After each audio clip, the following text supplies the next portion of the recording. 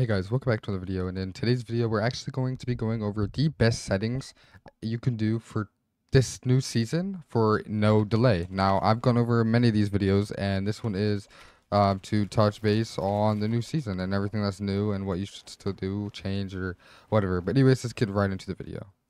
So, a lot of you guys are confused on what delay is. It's not ping, it's not well it just has something to do with ping but it's not it's not like lagging right? So delay is like how fast something happens. So if i click my e button to edit how fast it clicks right? If i want to reset how fast it happens. Now delay can change if somebody could take your wall or not. You could be zero ping just like somebody else and then it might come by and just yoink that wall. Now that is a big factor in delay and as well as how like fast people look. If they're like like really quick that just means they have no delay. Like as i'm free building like you can see stuff happens like like fairly quick and that's just my delay. So today we're going to talk about everything you can do to get your delay as low as possible and i hope you guys enjoy the video. Starting off number one there's really not anything new for the fortnite settings but you know i'll go over it just for the newer people to the channel. Um obviously performance mode everything on low 30 res 100 percent um, and then other than that, you go over to this this third tab. There's only a few settings in here that you thousand percent should have off. These energy savers here, high quality replays, and NVIDIA highlights. You don't need none of that stuff. Um, those are the few settings that you a thousand percent need off because they do cause FPS problems, stuttering, and stuff like that. And if you're a keyboard or mouse player, I recommend um, going to the key, the keyword settings at the top. Lock input method as mouse. You know, I feel like me personally it helps with delay. Um, that might be a little placebo, but I do recommend giving it a shot because my delay is fairly low. So, yep. Let's uh now let's move on to a few computer settings that you can do in order to get your delay even lower. Oh, a big part of your delay does rely under your ping. Now, for ping, I have an app called Gear Up Booster. Now, if you would like to try this out completely for free, download with the link in the description, join the Discord, and I'll be handing out quite a few memberships to a few of you guys that say you downloaded it with my link in the Discord. Now, what this app does is it actually can boost absolutely any game or app. As you can see, Discord can be boosted, stuff like that um, just to help your delay, your ping, whatever it is. Now, ping is huge on delay. If you fight somebody that's on zero ping, aside from fighting somebody that's on 50 ping, the person with zero ping is more than likely going to be way faster and all kinds of stuff like that. So I highly recommend getting Gear Up Booster. Now, Gear Up Booster, you can boost anything, and many other YouTubers and pros for Fortnite have talked about this app as well because it's actually decent. Now, I highly recommend giving it a shot uh, because there's no reason not to if it's completely for free. Now, anyways, let's get into a few other things that you can do in order to get your game running at its best. Okay, here we are on my desktop. You know, I've, I've quite a few things. Got, you know, my games over here. I only have Fortnite and XDefiant as of right now and a few other things over here that I use, right? So I have very little things, which does help a little bit, but on top of that, over here, I actually have nothing really open. Now, you can close absolutely everything you need to in order to get your processes as low as possible. Now, if you don't know what a process is, it's actually Hold on, let me, oh, yeah, there we go. There we are. And CPU down here, I have 158 processes, meaning I have 158 things running in the background um, that cause delay. Now, this number, the higher it is, the more delay you'll have. The lower it is, the better delay you'll have. You know, it makes sense, easy, quick. Now, in order to get this low, you have to close things, change things. So we're going to talk about that right now. Now, what we're going to start with is actually taskbar settings. Now, make sure you have task view off, widgets off. Now, what widgets is, is basically it's a bunch of different random stuff in the background, like videos, pictures, you know a whole bunch of different um things here right? So we just don't we just don't need that always run in the background and stuff like that. So i recommend just turning that off. Now go into your pc settings. Settings you go to display go all the way down to graphics click this change default graphic settings and actually turn this off now you will need to restart your pc as it says for changes to apply and that's fine we'll do that later now moving on you want to go to apps Go to startup apps. Make sure you only have on what you need. Now, I need my Razer to launch. My Spotify, not really, so I'm to turn that off. My SteelSeries, I need. And, you know, that, that's about it. Everything else I have turned off, so we don't have a bunch of random stuff just running in the background. Also, I am voice cracking a little bit. I just got off being sick, so, you know, I'm a little my, my throat's a little messed up. Pause. But anyways, um, other than that, go to game optimize. Um, you can turn game mode off. No need to have that running in the background. Uh, game bar. We can turn game bar off as well um, that like makes your controller opens the game bar so that that doesn't accidentally accidentally open because game bar can cause delay but more than likely you wouldn't notice if your game bar is open in the background or not now that is just a few simple settings we can turn off in there. The rest we'll turn off using a tool that I'll show here in a few seconds. Next, we're going to go to ADJ, which is adjust the appearance right here. You want to hit custom and you're going to check off, uncheck everything and just leave these two checked off. Click apply and then okay. And then from there, we'll type in mouse, go to mouse settings just like that additional mouse settings. Now I'm on Windows 11, so that's why mine looks like that. And we'll go to pointer options and make sure enhanced pointer precision is off. Now, if you can't find this setting, I'll show you exactly how to another way to do that here in two seconds. So in my Discord, after you guys join it, you will actually see in here. I don't know if y'all like my tree or not, but anyways, in here you'll actually see I have something called YouTube stuff. Now I got my Discord link. I got a power config that I'm gonna share with you guys, which I'll do right now. So copy the power config. Sorry, right click this. terminal admin, click yes. And then as soon as you can see this, apply that in there. Bam, it has been applied. That's it. Just minimize that. We'll need that here in a second.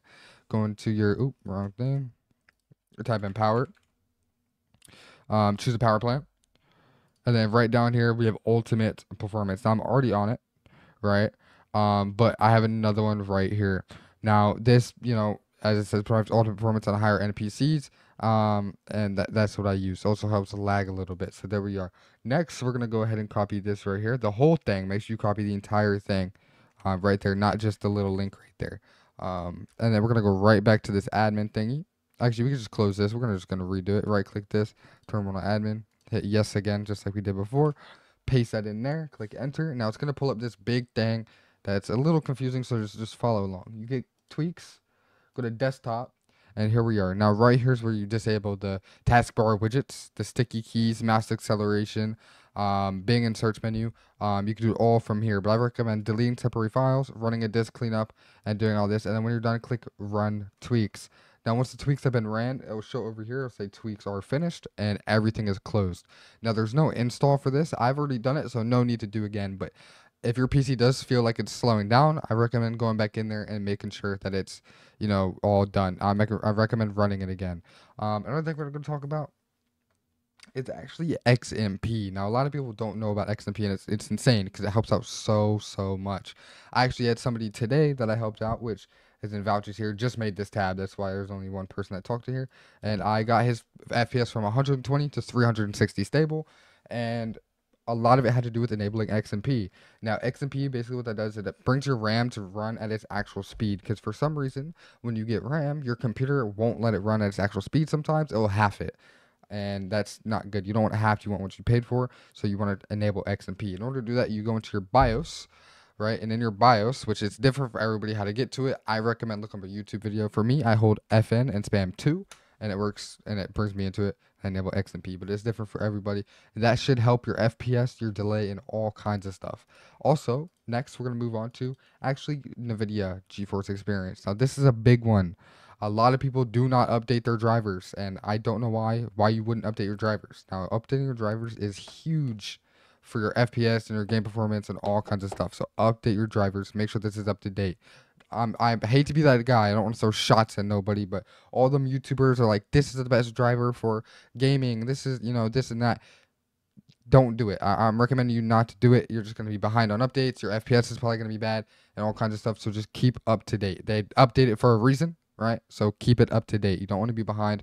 You just click download and express installation, right? Quick and easy to do. Next, we're actually on the topic in a video. We're going to move into NVIDIA control panel. Let this thing open up. Taking a second. It's on my second monitor. Now here we are. Now we're going to start the top, which is actually this. You want to click the middle one. Make sure this is on performance. Or to do that, you're going to click this bottom one. Drag it to performance. Then click the middle one. Then click take me there. Right, now copy these settings. I'm not going to go through them all. Just copy them. These are the best settings that you could use for your NVIDIA um, control panel uh, by far. Um, a lot of people do have other settings, but I think personally that these are the best. So I highly recommend um, copying these. I'll go back up through it, pause it, slow it down, do whatever you need to do. But these are by far the best settings to use. Next, change resolution. Make sure you're on the right resolution, which I play native, and then the right uh, FPS or hertz, whatever you want to call it. Um, yes, and then on the topic of that, adjust desktop size, adjust desktop size and position. Full screen perform scaling on GPU. Quick, easy. Make sure that this is uh, correct down here too. and then you click apply and you're good. And then next, go to the surround sound up here, put this on your graphics card so it doesn't go to your CPU because that'll cause delay while playing the game of Fortnite, right? Next, we're gonna go to Epic Games, go to library, go to these three dots on Fortnite, go to options. Make sure yours looks like this. Now, pre-downloaded stream assets, you want that checked off. Um, you want direct yo, unchecked. DirectX 12 shaders unchecked. Click apply. This will do a quick little update just like that. Should be fairly quick. Might take two minutes. And you're going to get right back to playing the game. Make sure that's just like that. If you guys did enjoy this video, make sure you guys like, subscribe, share it to a friend that needs help with their FPS or PC. Also, I just want to throw this out there. I put this at the end of the video because I'm sure some of you guys are going to hear it. In my Discord, I do have a thing where if you are confused, it doesn't work, I can help you out. Now, I do charge for this because it's coming out of my time, but I keep it fairly cheap and I keep it 20 a person. Now, I will completely tweak your PC just for you, like I did for this guy here. Was not my first person, but my first person to vouch for me because I asked him to, um, because I just made this channel today. Um, as you can see, May 27th, where it's May 27th. All right, I made this channel today, so I had him vouch. You know, I tweaked his PC from running 120 FPS to now running 360 stable. So I could do it for you guys too. If you guys don't want to do it, that is okay. But everything I do is pretty much covered in my YouTube videos. So if you want to go through, watch some of the videos, there's different settings in pretty much all of them. And, you know, help yourself out or come hit me up and I can help you out as well. After I tweak you one time, you come back to me anytime for free and I'll completely fix any problems you have as well. And anyways, that being said, that is the end of the video and I'll catch you guys in the next one.